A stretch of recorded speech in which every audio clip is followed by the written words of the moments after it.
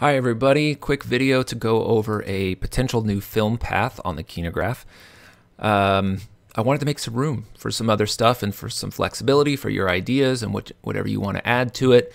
And I also got some great feedback from one of our forums members, Jeff Crowell, suggested that a good way to do that is just to move the reels up and to their outer corners. So that's what I've done here, and it gave us a lot more room underneath uh, gave us some more room laterally between the two reels, and I think it's going to make it overall stronger. We're closer to the vertical extruded aluminum.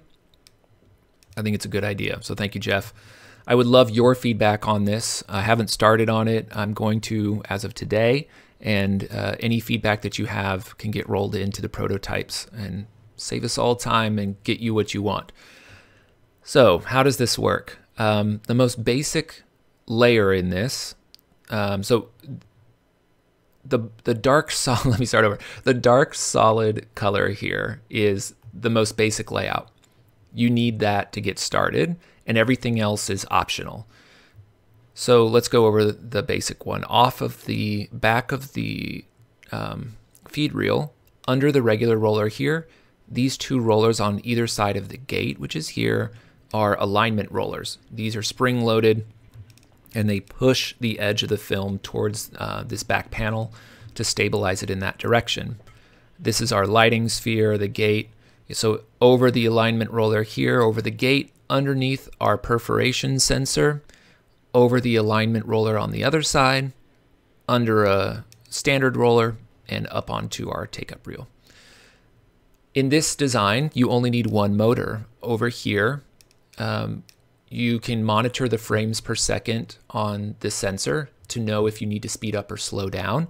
And so you make that adjustment on the motor and then you provide some physical resistance on this motor uh, so that everything, um, so that you the film isn't slack while it's being pulled through. So that should be fairly simple as far as film paths go. Uh, but from there, you can add a variety of things in combination. The first one we'll go over is tension sensing. The lime green is for that. Um, you need two motors for this to work. And that is because instead of uh, monitoring our speed, we're actually monitoring the tension in this whole system so that the, the film doesn't get too tight. And the speed will be controlled by a single motored capstan roller here. This is a soft rubber roller that will grab the film and move it forward at a constant speed. And then these reels, their motors are responsible for taking up the slack in either direction to keep pace with that capstan roller. Um, one thing to note here is that the, the design for the tension monitoring, the tension sensing, has been a double roller swivel hub. And that is still a valid design, but I have this idea for a single roller sensor that will cut down on the number of parts and the amount of space uh, required for the output of that sensing. So in other words, we get the same thing with a simpler design. I haven't started on it yet, so I can't show you anything, but hopefully it works out. And if it doesn't, because we moved these up, oops, I could put it here, the, the old hub roller here, or here, and we have plenty of room for it. So win-win. But let's walk through what that would look like. Again, it's off the back of the feed reel underneath this roller. And we, we want to measure in this design force in this direction. So we need to pair up with another roller here. So this is our, our sensor roller. This is a regular roller. And then everything's the same until here we wrap around the capstan, give it a lot of surface area to grab the film. And then we repeat the sensor setup over here and over. All right. Uh, if you wanted to add a wet gate, there's room for that too. We're basically trying to recreate a design we've seen in another machine. These are uh, soft rollers sitting in reservoirs of um, alcohol. And you're going to need a roller down here. So this, this peach color denotes that if you're going to add this and you don't use the tension setup, you're still going to need a roller here. So you're still going to need a roller um, to line it up.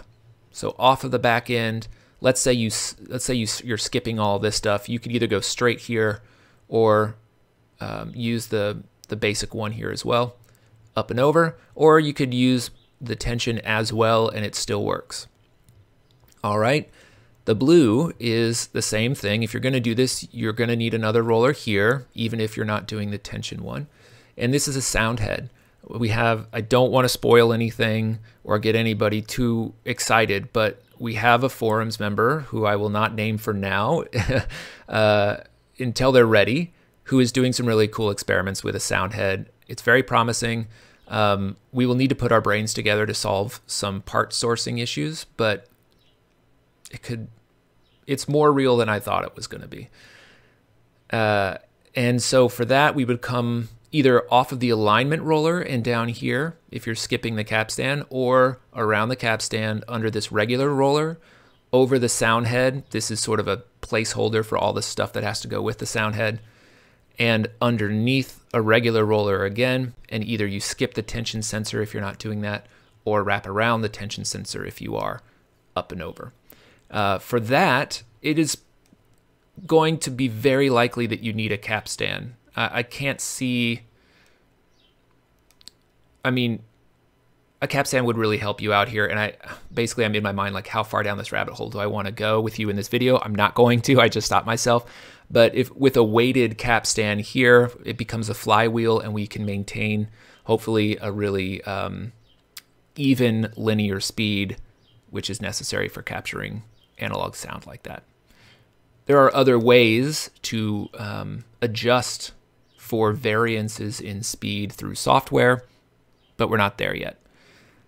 All of this to say uh, that this is a sketch of possibilities that is supposed to increase our flexibility of design in the future for add-ons. Let me know what you think. Um, please comment below, share this to whoever needs to see it and I look forward to hearing from you.